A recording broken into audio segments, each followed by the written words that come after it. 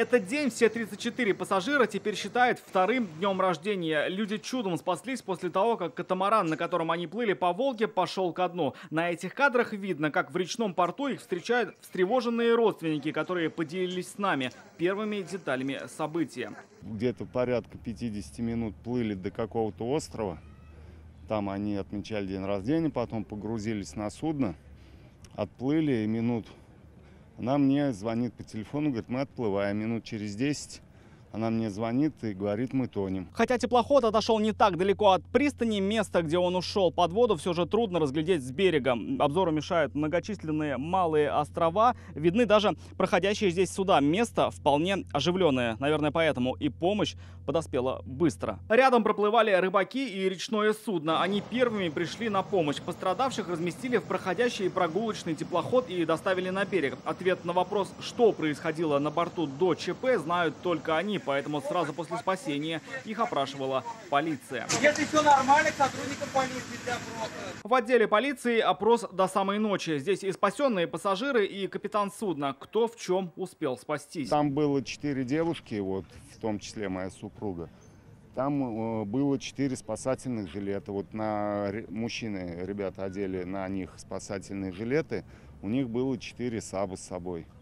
Вот они ими воспользовались как плотами. Говорить на камеру о произошедшем другие не пожелали. Нас не отпускают пока. А как вот было, вы не помните, сказать не можете? Не хочу ничего говорить. Без комментариев. Имениннику хотя бы можете сказать, сколько лет исполнилось? С днем рождения.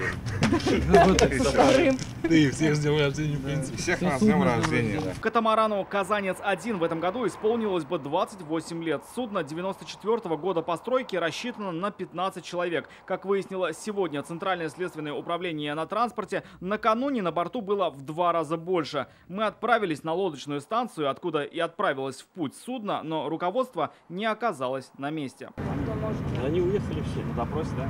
Ну, скорее всего. Следователи возбудили уголовное дело по статье «Нарушение правил движения и эксплуатации водного транспорта, повлекшее по неосторожности причинение крупного ущерба». Проводится комплекс следственных действий, направленных на установление всех обстоятельств и причин происшествия.